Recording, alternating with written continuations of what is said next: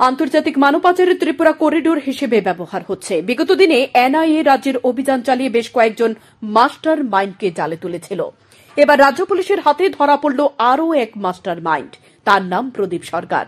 সে মোটা অঙ্কের বিনিময়ে মানব পাচার সক্রিয় বলে অভিযোগ। তাকে বক্সনগর থেকে আটক করেছে পুলিশ। পুলিশ জানায়, গত তেসরই মার্চ আগরতলা রেল স্টেশন থেকে আটক হয় চার বাংলাদেশী নাগরিক। তাদের জিজ্ঞাসাবাদ করে বেরিয়ে আসে এই পাচার কাণ্ডের মূল নায়ক, প্রদীপ সরকারের নাম ও তার বাড়ি।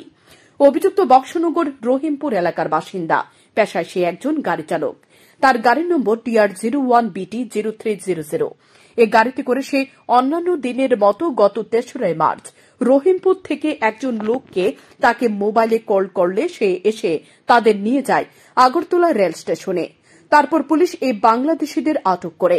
বাংলাদেশিদের জিজ্ঞাসা করলে নাম, গোত্র জানতে পারে পুলিশ।